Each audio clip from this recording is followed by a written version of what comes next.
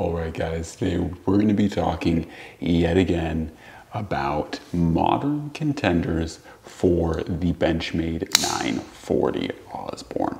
Now, as I've mentioned in previous videos, the Benchmade 940 Osborne, as you see it here, maybe with a little bit less blade wear, but as you see it here with the purple anodized aluminum backspacer with the lovely green aluminum scales is the way God the way God intended this knife many, many moons ago. This thing was released in the early 2000s and is probably one of Benchmade's best knives ever, arguably one of the handful of knives that put Benchmade on the map. And it is a perennial favorite for good reason. I think it is a really well built and overall a genuine workhorse of a knife. However, I think in the past handful of years, there have been a number of contenders that have really come to dethrone the mighty 940. Now, you might look at Benchmade's own family of knives and say the Bugout, especially in its titanium and metal scales, could do something similar to this, but we're going to talk about some other knives from other makers. So first off, let's talk about the one that I initially drew conclusions to. This is the Spyderco Smock. Now this knife I think is one of the most obvious and most direct competitors to the 940. You can see it has that very narrow, very thin body, also very reminiscent to the 940. When folded, it is very narrow and very slender in the pocket. And one thing that I really love about the smock is the fact that they it's not an integral flipper, but you can see that this flipper is very well blended into the design and works very effectively. So when you go to pocket this in your pocket, there is no actual thumb stud really jutting out of the spine or back of the knife. So this knife, like I said, was one of the first that I drew conclusions to saying that this would be a you know modern day replacement to the 940. It even comes in CPM S30V just like the original 940 and once again just borrows on a lot of what made the 940 great, obviously with its own distinct and unique Spyderco characteristics. Things like the deep hollow grind, things like the Spidey opening hole as opposed to thumb studs, of course the flipper. But what's most important, and I think the key here to you know, taking what made these um, Benchmade 940 so great is that it was a very slim, almost CEO styled or, you know, very um, discreet carry knife that could be easily opened and closed with one hand. And so I think the Spyderco Smock really fits the um, kind of thesis of what the 940 was aimed after. So the Spyderco Smock, like I said, is one of the knives that I think is a modern day competitor and might in some ways, in my opinion, be better than the 940. Now let's talk about another two options. The next one up will be the TRM Neutron. Now the Neutron is a little bit smaller than the 940, but it's actually, I think a lot of people would say, you know, like, isn't the Neutron, you know, a lot smaller than the 940? Technically, side by side, and let me move this little Malibu real quick.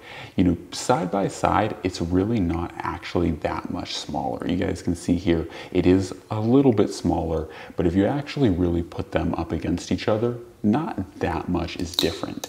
And once again, you know, fitting that idea and uh, thesis of what the 940 was meant to be, I think that the Neutron does a very, very good job. Once again, we're talking a very slim, very trim knife that is going to be very pocketable, doesn't really have anything sticking out of it. Once again, very user friendly, very one hand friendly. And I think that is probably about the only thing where Neutron's just a little bit different. It is very easy to close. Once again, it is a liner lock. So it is, in my opinion, very smooth for a liner lock. So it is very easy to open and close one-handed. As you guys can see, the blade will just fall right down on your finger, allowing you to easily thumb the knife closed. But the Neutron, I think, is a worthy contender, especially seeing that it stepped up the materials from S30V up to 20CV. But like I said, it really fits that original design uh, thesis of what the 940 was created to be, a lightweight, pocket-friendly, urban carry. So that is the TRM Neutron 2. And like I said, I think it is a really similar and nice competitor to the 940. Now that leaves us with one more knife to talk about. And this right here is the ProTech Malibu. Now, some people are probably familiar with the ProTech Malibu already, but for me, I think that maybe the Smock and the Malibu um, are probably the most direct like I said, I don't want to say copies because they're obviously not copies, but very, very similar in design and thesis. They really copied Benchmade's homework when it comes to what they were looking for in a knife. And I think the Malibu is probably the closest. You know, the Smock kind of diverges and goes its own way a little bit, but when you really look at it, like the 940 and the Malibu are very similar in overall size, in blade shape. These are both reverse In uh, materials, obviously the Malibu is a much higher end knife, but in price point, ironically, um, they are actually very similar. So you can get a Malibu new for anywhere, depending on what materials and stuff. Obviously, you can go for the crazy limited edition ones that are like $800, but you can get something like a Malibu like this guy here that is, you know, CPM S45 VN. Um, you can get the ones in S uh, CPM what is it, 20 CV um, for very, very close to the prices you would pay for a Benchmade 940. So these two, like I said, are very similar in price point, very similar in really every way, shape, and form. The only difference is, my God, the Malibu's action is just otherworldly. Like it really is one of those things that I didn't really believe or, you know, like want to give into the hype of the Malibu until I got one in hand and I was like, my God, the action on this thing is absolutely freaking incredible. But once again, very similar to a well broken in 940. Of course, this 940, as you can see, very well broken in, absolutely closes without a problem. Um, I've also tuned it up a little bit so it's a little bit nicer, but yes, these two are insanely similar. And I would genuinely argue that the Malibu is the 940 of the future. You have a nice flipper tab that actuates with pretty much no force.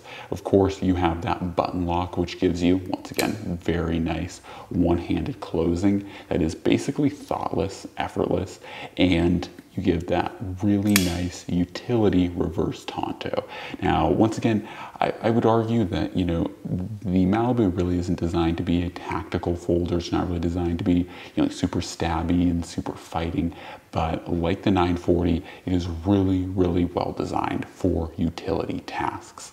And like I said, mine is the Benchmade exclusive. So it is in CPM S45 VN as opposed to their standard CPM 20 CV. I believe they're shifting these over to MagnaCut now, but you can definitely find Malibus in MagnaCut you can definitely find uh, Malibus in MagnaCut. You can find them in, you know, 20 CV and even S45 is um, going to be incredible. Like all of these are really, really good steels. So ultimately, I think the Malibu is a crazy, awesome version of, I think, like what a Benchmade 940 would look like in 2023. So anyways, that was a look at a handful of knives that I think are really spiritual successors. They kind of copied Benchmade's homework. Like I said, especially the Malibu and especially the Smock because both the Smock and Malibu are reverse Tontos and once again laying them right next to the blade shape of the 940 Osborne.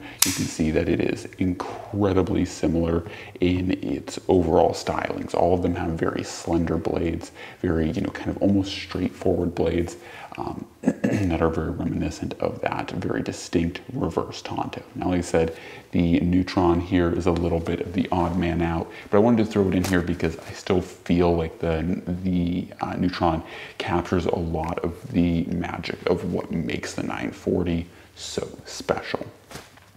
Anyways, guys, Hopefully you enjoyed the video. Hopefully you enjoyed taking a look at some really good contenders. I'm gonna be doing some more videos on the Malibu because I think that this guy is actually really cool. Like I said, I really didn't wanna give into the hype of the Malibu at first, but I was like, holy smokes. So I ended up picking one up because it is just too freaking cool. So anyways, that is the Malibu, the Smock, the Neutron over there, in the 940. As always, guys, God bless, and I'm out.